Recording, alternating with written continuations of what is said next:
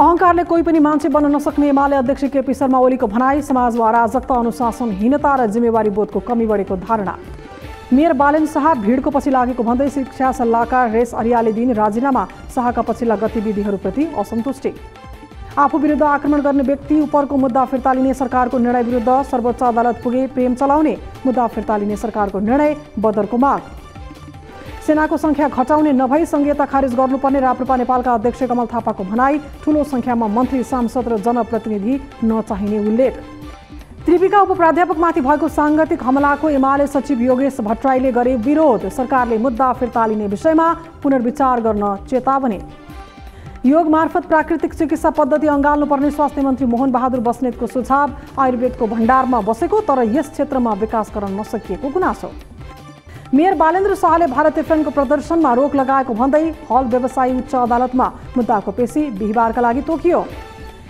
एलिप्सको छात्रावासमा भएको विद्यार्थी मृत्यु प्रकरणमा पक्राउ परेका प्रिन्सिपल दीर्घहरि दाहाल र शिक्षक पुरुषोत्तम अधिकारी छुटे। वार्डेन रायन भन्ने रामप्रसाद साकोटा विरुद्ध आत्महत्या दुरुत्साहन मुद्दा। प्रतिनिधि सभामा आज पनि विनियोजन विधेयकमाथि छलफल खेलकुद शिक्षा कानुन र कृषि तथा पशुपक्षी मन्त्रालयको बजेटबारे छलफल। पोखरा विमानस्थलमा पहिलो अन्तर्राष्ट्रिय व्यावसायिक जहाज अवतरण चिनको छेन्दु तियानफु विमानस्थलबाट सिचुवान एयरलाइन्सले भरे चार्टर उडान। नेपाल र चीनबीचको सम्बन्ध सगरमाथा जस्तै अग्लो भएको पर्यटन मन्त्री सुदन किरातीको भनाई यो केन्द्रका रूपमा विकास गर्नुपर्नेमा भारतीय राजदूत श्रीवास्तवको जोड। विद्युतीय राहदानी वितरणमा समस्या बढेको माओवादी केन्द्रका उपमहासचिव वर्षमान पुनको भनाई पर्याप्त पूर्वाधार निर्माणमा जोड। अघिल्लो सरकारले ल्याएका किसान कार्ड बिमा लगायतका किसानका सुविधाका विषय बजेटबाट हटाइएको भन्दै जनमत पार्टीका सांसद अब्दुल खाँको असन्तुष्टि बजेट संविधान विपरीत बनेको आरोप। उप प्रधानमन्त्री पूर्णबहादुर खड्का ओमान जाने एनआरएनएको आठौँ मिडल इस्ट रिजनल कन्फरेन्सलाई सम्बोधन गर्ने। राहदानी वितरणलाई थप सहज बनाउने प्रयास भइरहेको परराष्ट्र मन्त्री एनपी साउदको भनाई समयमा नै राहदानी छपाई प्रक्रिया अघि बढाउने प्रयास भइरहेको उल्लेख। नेपालमा रासायनिक मल कारखाना आवश्यक नभएको माओवादी केन्द्रका सांसद जनार्दन शर्माको भनाई रासायनिक मलको सट्टा अर्ग्यानिक मल कारखानाको आवश्यकतामा जोड।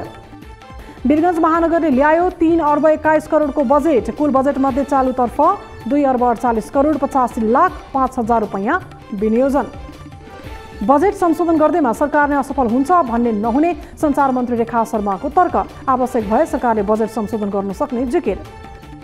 लगातार तेस्रो दिन पनि घट्यो शेयर बजार परिसूचक रेप्से होटल जीवन बिमा उत्पादन र व्यापार बाहेक अन्य समूहको शेयर घट्दा साढे तिन अर्ब रुपियाँको कारोबार।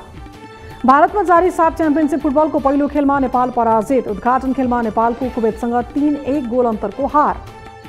क्रिकेट खेल मैदानका लागि आवश्यक बजेटको तत्काल व्यवस्था गर्न नेपाली कङ्ग्रेसका सांसद डाक्टर चन्द्रकान्त भण्डारीको माग। देशको पहिचानका लागि खेल क्षेत्रको विकासको आवश्यकतामा जोड। होन्डुरसको केन्द्रीय महिला कारागारमा दङ्गा भड्किँदा एकचालिसजना कैदीको मृत्यु। लामो समयदेखि समस्याग्रस्त कारागार प्रणालीमा भड्किएको हिंसामध्ये यो सबैभन्दा घातक घटना।